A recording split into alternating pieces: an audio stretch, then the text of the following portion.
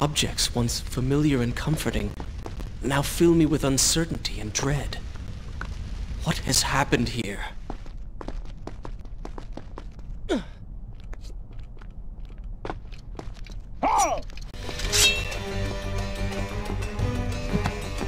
I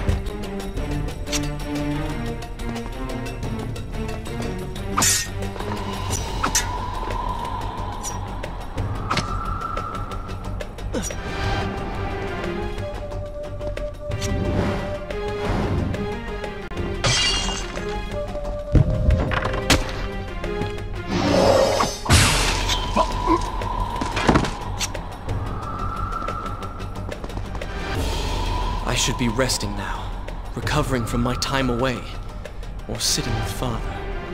Instead, I'm forced to run and hide, sneaking about like a common thief, hunted in my own city.